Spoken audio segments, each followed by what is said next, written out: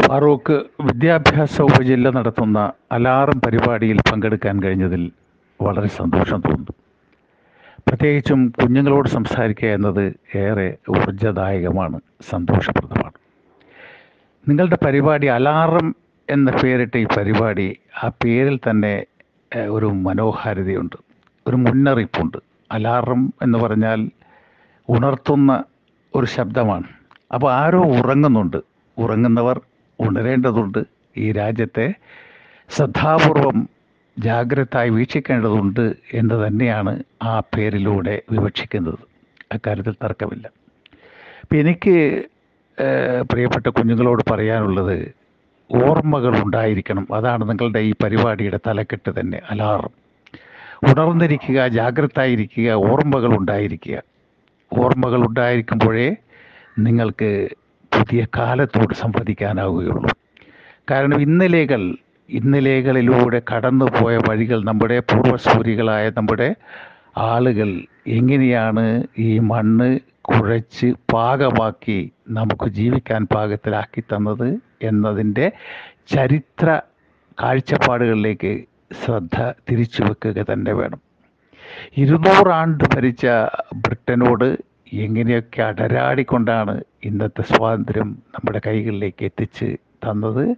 അതിനുവേണ്ടി ആരൊക്കെയാണ് അഹോരാത്രം എത്തിച്ചത് ആരുടെയൊക്കെ പ്രാണനാണ് പതിര് പോലെ പാറിപ്പോയത്? ആരൊക്കെയാണ് അടിയും ഇടിയും വെടിയും കൊണ്ട് നരകിച്ചത്? ആരൊക്കെയാണ് ഏകാന്തവാസത്തിന് തടവിൽ കിടന്നത്? ഇതൊക്കെ ചരിത്രത്തിന്റെ ഭാഗമാണ്. ഈ ചരിത്രത്തിലൂടെ കടന്നു പോകുമ്പോൾ മാത്രമേ പുതിയ കാലത്തിൽ എന്തൊക്കെ ചെയ്യേണ്ടതുണ്ട്? ഈ നാടിനെ ഇനിയും ഇനിയും മാറ്റി തീർത്ത് മനോഹരമായ ഒരു വലിയ മലർവാടിയാക്കി തീർക്കാൻ എന്താണ് ചെയ്യേണ്ടത് എന്നതിന്റെ ഒരു ഒരു മുന്നോട്ടുള്ള യാത്രാപഥം നിങ്ങളുടെ മനസ്സിലേക്ക് തെളിഞ്ഞു വരികയുള്ളൂ. ഒരു കാലത്ത് നമുക്ക് ഒരുമിച്ചിരുന്ന് പഠിക്കാൻ പറ്റിയിരുന്നില്ല ഒരുമിച്ച് നടക്കാൻ പറ്റിയിരുന്നില്ല ഒരുമിച്ച് ആഹാരം കഴിക്കാൻ പറ്റിയിരുന്നില്ല. എല്ലാം വേറിട്ട് നിന്നിരുന്നു. അത്യാചാരം കൊണ്ട് ശ്വാസം മുട്ടിയ ഒരു കാലം. പൊതുവഴിയിലൂടെ നടന്നുകൂടാത്തതിന്റെ പേരിൽ എണ്ണൂറ്റി രണ്ട് ദിവസത്തെ സമരമുഖം അഴിച്ചുവിട്ടത് കേരളമാണ്. വൈക്കം സത്യാഗ്രഹത്തെക്കുറിച്ച് നിങ്ങൾ കേട്ട് കാണും. വൈക്കത്ത് പൊതുവഴിയിലൂടെ റോഡിലൂടെ പട്ടിക്ക് നടക്കാം പൂച്ചയ്ക്ക് നടക്കാം പെടുക്കാം. പക്ഷേ മനുഷ്യന് നടന്നുകൂടാ. മനുഷ്യന് നടന്നേ മതിയാവൂ എന്നതിന്റെ ഏറ്റവും വലിയ സമരമുഖം തുറന്നുവിട്ട് ശ്രീനാരായണ ഗുരുവടക്കമുള്ള നമ്മുടെ മഹാരഥന്മാർ അഴിച്ചുവിട്ട വലിയ സമരമുഖം. അതിന്റെ അവസാനം വിശ്വമാനവികനായ വിശ്വപൗരനായ ഗാന്ധിജിയാണ് ചർച്ചയ്ക്ക് വന്നത്. ആ ചർച്ച പരാജയമായിരുന്നു. എന്നിട്ടും ആ സമരം ഉയർത്തിവിട്ട കാറ്റ് ഇരുട്ട് കട്ട കെട്ടിക്കിടക്കുന്ന എല്ലാ കൊത്തളങ്ങളിലേക്കും കോട്ടയ്ക്കുള്ളിലേക്കും വരച്ച് കയറി വെളിച്ചം വിതറുകയുണ്ടായി. അതിന്റെ ഭാഗമായി രാജ്യത്തിന്റെ സംസ്ഥാനത്തിന്റെ നാനാഭാഗങ്ങളിൽ പുതിയ വെളിച്ചത്തിന് വേണ്ടിയുള്ള സമരമുഖങ്ങൾ വളരെ ശക്തമായി വന്നു. അയ്യങ്കാളി നയിച്ച സമരമുഖത്തെക്കുറിച്ച് കേരളം എന്നും ആവേശത്തോടെ മാത്രമേ ഓർത്തിട്ടുള്ളൂ. അയ്യങ്കാളിയുടെ ദളിത് സമുദായത്തിൽപ്പെട്ട പാവം മനുഷ്യർക്ക് അന്ന് അക്ഷരം അഭ്യസിക്കാൻ യാതൊരു വഴിയുമില്ലായിരുന്നു. പഠിക്കാൻ യാതൊരു വഴിയിൽ സ്കൂളിൽ കയറ്റില്ല. അങ്ങനെ അയ്യങ്കാളി തന്നെ ഒരു സ്കൂൾ കെട്ടി. സ്കൂൾ കെട്ടിയപ്പോഴാണ് അദ്ദേഹം പറയുന്നത് അദ്ദേഹത്തിന്റെ സമുദായത്തിൽ അക്ഷരം പഠിച്ച വാദ്യാന്മാരാരുമില്ല കുട്ടികളെ പഠിപ്പിക്കണമെങ്കിൽ അക്ഷരം അറിയുന്ന വാദ്യാൻ വേണം ഗുരുനാഥൻ വേണം. ഗുരുനാഥന്മാരാരുമില്ല ആ സമുദായത്തിൽപ്പെട്ട. മറ്റു സമുദായത്തിൽപ്പെട്ട സവർണരാരും അവർണരായ കുട്ടികളെ പഠിപ്പിക്കാൻ വരില്ല. അങ്ങനെ അയ്യങ്കാളി മഹാരായ ശ്രീനാരായണ ഗുരുവിന്റെ ശിഷ്യൻ ഭാഗവി കുമാരനാശനോട് അഭ്യർത്ഥിച്ച ഒരു അധ്യാപകനെ തരണം. ചെറാഴിയിൽ നിന്ന് കുമാരനാശൻ ഒരു അധ്യാപകനെ അയ്യങ്കാളിയുടെ സ്കൂളിലേക്ക് അയച്ചു കൊടുത്തു തിരുവനന്തപുരത്തേക്ക്. ഒരൊറ്റ ദിവസമാണ് ആ സ്കൂൾ പ്രവർത്തിച്ചത്. ഒരു ദിവസം പ്രവർത്തിച്ചു. അന്ന് രാത്രിയിൽ സവർണൻ ആ സ്കൂളിന് തീയിട്ട് കളഞ്ഞു. അക്ഷരത്തിന്റെ ആ വലിയ വർണശാലയ്ക്ക് തീയിട്ട് കളഞ്ഞു സവർണൻ.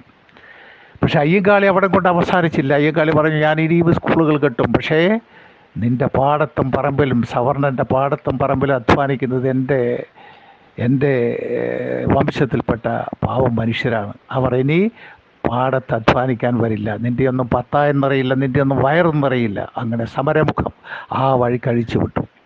ഇങ്ങനെ നാനാവിധമായ സമരമുഖങ്ങളിലൂടെ പടുത്തുയർത്തിയ അതിമനോഹരമായ ഒരു നാട്.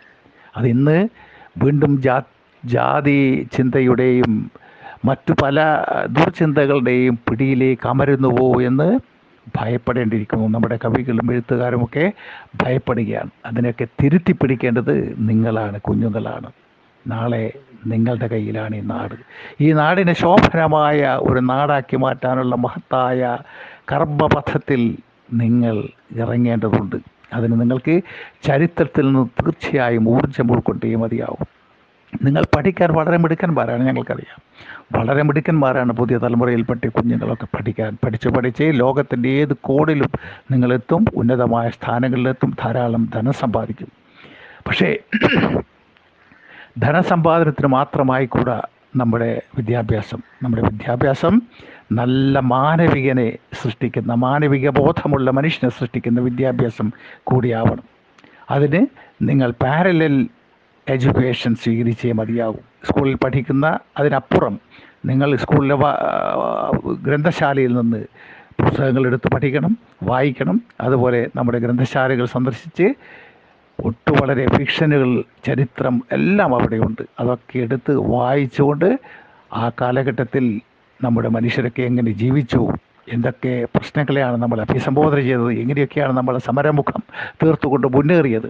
അതിന്റെ ചരിത്രം വായിക്കുക ഒപ്പം ഫിക്ഷൻ വായിക്കുക. ഫിക്ഷനിലൂടെയും മനുഷ്യ ജീവിതത്തിന്റെ നാനാ മുഖങ്ങളാണ് കാണാനുള്ളത്. തകഴിയെ വായിക്കുക ബഷീറിനെ വായിക്കുക കാരൂരിനെ വായിക്കുക അങ്ങനെ നമ്മുടെ എഴുത്തുകാരെയും വിദേശ എഴുത്തുകാരെയും വായിക്കുക. മനുഷ്യജീവിതങ്ങൾ മുഴുവൻ അതിനകത്ത് കൂട്ടികെട്ടി പാർക്കുകയാണ് അതിലൂടെ പല പുതിയ വെള്ളി വെളിച്ചം നിങ്ങളുടെ മനസ്സിലേക്ക് ഉയർന്നു വരട്ടെ. പുതിയ ലോകാവബോധം നിങ്ങൾക്കുണ്ടാവട്ടെ. അലാറം നിങ്ങളെ എപ്പോഴും ഉണർത്താൻ പര്യാപ്തമാകട്ടെ എന്ന് ആശിച്ചുകൊണ്ട് ആശംസിച്ചുകൊണ്ട് നിർത്തുന്നു. എല്ലാവർക്കും അഭിവാദനങ്ങൾ.